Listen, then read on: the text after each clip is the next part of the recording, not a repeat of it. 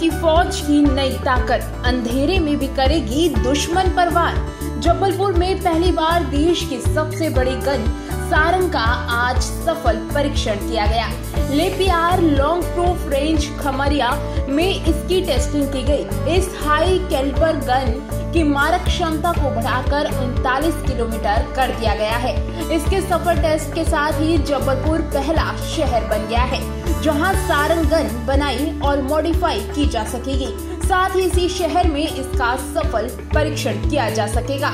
Sarang gun की साढ़े चौदह किलोमीटर लंबी लेपियार लॉन्ग प्रूफ रेंज में सफल टेस्टिंग की गई। सेना के अधिकारी के मुताबिक करीब 14 महीने की कड़ी मेहनत के बाद इस हाई कैलिबर गन की टेस्टिंग की गई। इसके बाद इसे सेना को सौंपा जाएगा।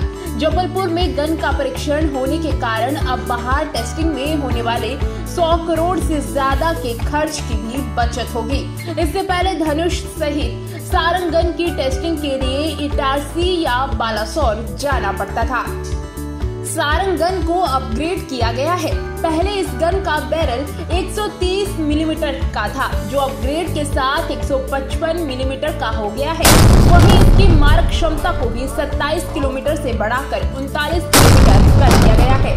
अब ये गन रात के अंधेरे में भी कारगर साबित हो गई। रात में भी सैनिक इस गन का दुश्मन पर इस्तेमाल कर सकेंगे।